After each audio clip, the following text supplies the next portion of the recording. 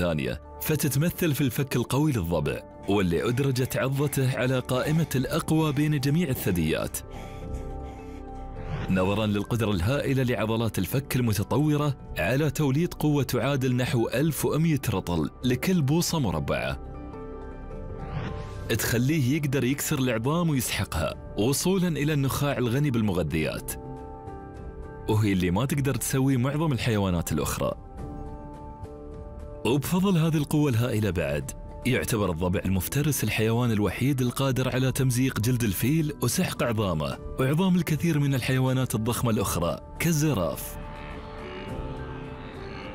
بالإضافة لأكل اللحم والأعضاء الداخلية للفرائس حتى أن الضباع المفترسة تتغذى على الحوافر والقرون والشعر وبعد تمزيق الفريسة وطحن عظامها تأتي أحماض المعدة القوية اللي تخلي الضبع يقدر إنه يهضم معظم العناصر الغذائية اللي ما تقدر معظم الحيوانات إنها تهضمها مثل العظام والجلد.